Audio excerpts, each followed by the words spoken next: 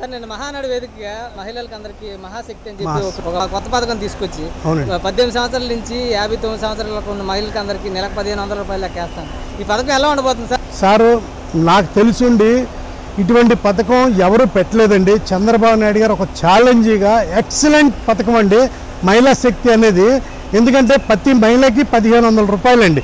ఎంతమంది ఉంటే పద్దెనిమిది సంవత్సరాల నుంచి యాభై తొమ్మిది సంవత్సరాల లోపు ప్రతి ఒక్క ఆడవాళ్ళు ఒక ఇంట్లో ముగ్గురున్న ముగ్గురికి ఇస్తారండి.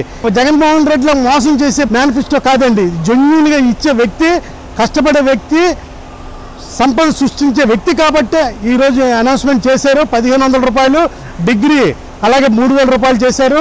సంవత్సరానికి పదిహేను వేల రూపాయలు తల్లికి వందనం అనే ఒక పథకం పేరు అవునండి. ఆ, ఎంత ముందు ఇచ్చారు కానీ ఒక్కొక్క ఒక్కొక్కరికి ఇచ్చారు. ఎంతమంది పిల్లలు ఉంటే అంతమంది అంతమందికి ఇస్తారండి. అది ఎలా ఉపయోగపడుతుంది పిల్లల చదువుకులకి ఎలా చాలా బాగుంటుందండి. ఆడపిల్లలకి చదువు పరంగా బాగుంటుంది. వాళ్ళ కుటుంబంలో ఆర్థికంగా నిలదొక్కుంటారండి. ఇటువంటి సాయం పథకం ఎక్కడా లేదు భారతదేశంలో. ఇది మహిళలకైతే మటుకు చాలా మంచి పథకం అండి అది. అలాగే గ్యాస్ మూడు బండ్లు దీపం పథకం కింద గతంలో ఈ చంద్రబాబు నాయుడు ఈ పథకం తీసుకొచ్చారు. ఇప్పుడు గత ప్రభుత్వంలో నాలుగు వందల యాభై రూపాయలు గ్యాస్ రేట్ ఉండేది. దాన్ని ఇప్పుడు పన్నెండు వందలు చేశారు.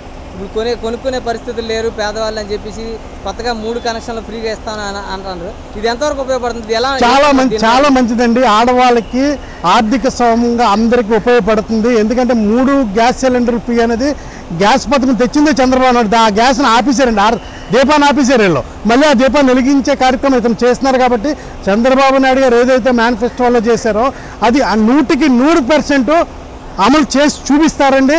ఆ శక్తి అతనికి ఉంది. ఈ యువగలం పేరుతోటి లోకేష్ గారు పాదయాత్ర చేస్తున్నారు. యువత అంతా ఎలాంటి కష్టాలు పడుతున్నారో చూస్తున్నారు. వాళ్ళ కోసం ఇరవై లక్షల ఉద్యోగాలు కల్పిస్తా అంటున్నారు కదా. ఇది యువతకి మంచి భరోసా అనుకోవచ్చా? నిరుద్యోగులకి అందరికీ మూడు వేల రూపాయలు నిరుద్యోగ వృత్తి ఇస్తా అంటున్నారు. ఇది యువతకు యువతకి మేలు జరిగే పరిస్థితి ఉందా? ఏమంటారు సార్ మీరు? చాలా మేలు జరుగుతుందండి. ఎందుకంటే మనకి కంపెనీలు ఇన్వెస్ట్మెంట్ చేయడానికి మన ఆంధ్రప్రదేశ్లో చంద్రబాబు నాయుడు మీద నమ్మకం కొలిది చాలామంది వస్తారు. నిరుద్యోగులు ఇరవై లక్షల మందికి హండ్రెడ్ పర్సెంట్ అతను ఇచ్చి చూపిస్తారండి. ఎందుకంటే ఈరోజు కిరియా మోటార్స్ చూడండి డిఫరెంట్ డిఫరెన్స్ అన్నీ వచ్చాయండి అతను బట్టి వచ్చాయండి. కొంతమంది ఈరోజు ఇప్పుడు నాలుగు సంవత్సరాల నుంచి ఈ- చెత్త మీద పనిచేసిన చెత్త మంత్రి మంత్రి వచ్చిన తర్వాత ఏ పెట్టుబడులు లేవు. నా పెట్టుబడులే పోతున్నాయండి. కాబట్టి ఇరవై లక్షల హండ్రెడ్ పర్సెంట్ ఇచ్చి తీరుతారండి. అతను ఇచ్చి మేనిఫెస్టో ఏదైతే ఉందో అది హండ్రెడ్ పర్సెంట్ జరుగుతుంది. ఇప్పుడు రైతులకి నడ్డి విరిసే పరిస్థితి ఏర్పడింది. గిట్టుబాటు ధర లేదు. మళ్ళీ రైతులు మోటార్లకు మీటర్లు పెట్టి కరెంట్ బిల్లు వసూలు చేస్తామన్న ఆలోచనలో కొత్తగా ఈ స్మార్ట్ మీటర్ల పథకం తీసుకొచ్చారు. ఇవన్నీ ఇరవై వేల రూపాయల వరకు సంవత్సరానికి చంద్రబాబు నాయుడు ఆ, రైతు రైతులకి వేస్తాను పన్నెండు వేల నుంచి ఇరవై వేల రూపాయలు పెంచారండి. రైతులకి చాలా చక్కని డబ్బు ఉంది ఎందుకంటే ఈలకలాగా మీటర్లు దొంగ మీటర్లు వేసి డబ్బు కలెక్ట్ చేసుకుని ఇలా అదాని కంపెనీ గ్రూప్ దాచిపెట్టే ఏం కాదండి.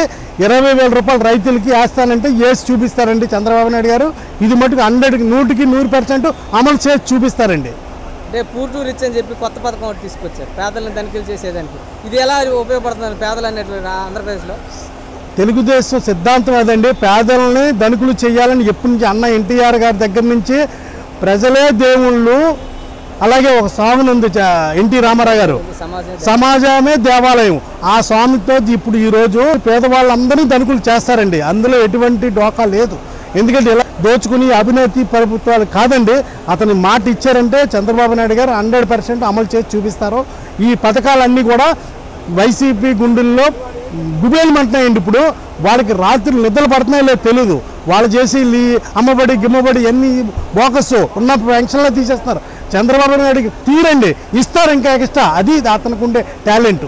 అంటే ఇప్పుడు వైసీపీ నాయకులు అందరూ అంటున్నారు ఇదంతా ఒకటి బోటకం ఇదంతా మేనిఫెస్టో ఇదేం కాదు ఇది బోటకం వాళ్ళు అలా చెప్పుకుంటారండి వాళ్ళు చేసేవి బోటకం కాబట్టి అలాగే చెప్పుకుంటారు. నిజంగా కష్టపడినాడు ఎవరు లేదు కదా అలాగే చంద్రబాబు నాయుడు ఇస్తారంటే ఇస్తారు అతను కన్ఫామ్గా వాళ్ళ బోగస్ అలాగే చెప్పుకుంటారండి. చెప్పుకుంటేనే వాళ్ళకి రోడ్డు మీద తిరగదు లేదా జనాలు తిరగబడి కొట్టేస్తారండి వైసీపీ వాళ్ళకి అది ఉన్న పరిస్థితి.